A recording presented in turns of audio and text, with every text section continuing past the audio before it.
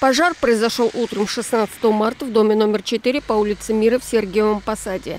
Горела квартира на четвертом этаже. В тот момент в ней находилась 80-летняя Галина Филипповна с пятилетним внуком. Возгорание началось в комнате, но дым очень быстро распространился по всей площади квартиры. Женщина смогла добраться до входной двери и открыть ее.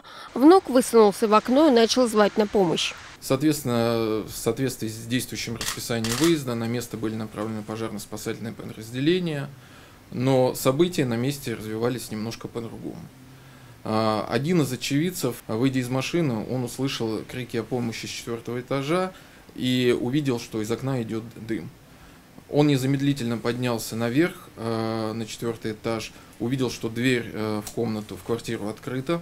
А, около двери находится пожилая женщина – вот. Он э, зашел в квартиру, где плакал ребенок, э, вы, взял его на руки и вынес на улицу, посадил в свою машину и в дальнейшем передал э, сотрудникам скорой помощи. Э, те доставили его в больницу, и, к счастью, э, ребенок от пожара не пострадал. В это же время, когда он спускался по лестнице, э, он увидел, навстречу бежал ему другой э, очевидец этого события, которого зовут Николай.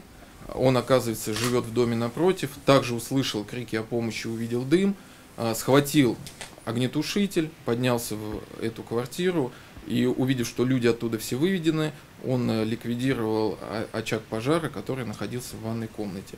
Тем самым а, два человека этих э, э, совершили поступок такой, что, на что можно обратить внимание. Во-первых, они спасли людей, а во-вторых, ликвидировали пожар и не допустили распространения как по всей квартире, так и в соседние квартиры. Потушив огонь, Николай и пожилая женщина вместе встретили приехавших пожарных, которые убедились, что опасность миновала. Галину Филипповну госпитализировали в районную больницу с ожогами рук такие яркие да, случаи, они ну, недостаточно часто происходят, даже не только в нашем районе. Может быть, с одной стороны, хорошо, что у нас таких происшествий не так много, но и в Московской области. Поэтому э, мы по всем таким случаям незамедлительно э, докладываем вышестоящему руководству о том, чтобы, ну, соответственно, за совершенный положительный поступок, да, людей, соответственно, нужно и отмечать, и поощрять, и э, нужно это придавать огласке чтобы люди понимали, что вот э, вроде бы ничего такого сложного да, не произошло, и пожар там не на большой площади, но э, благодаря грамотным и смелым действиям э, люди были спасены и потушен пожар. Сами мужчины, случайно очевидцы трагедии, свой поступок отнюдь не считают героическим. Это естественная человеческая реакция прийти на помощь, считает Руслан Стец.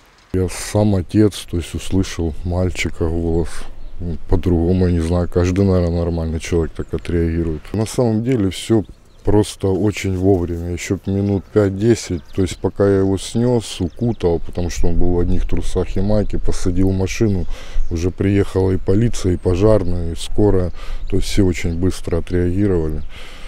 Ну а так, я думаю, если бы не сосед с огнетушителем, уже минут через пять бы там, конечно, пожар бы распространился. Ирина Самойлова, Сергей Кашайкин, Сергей Власов. День города.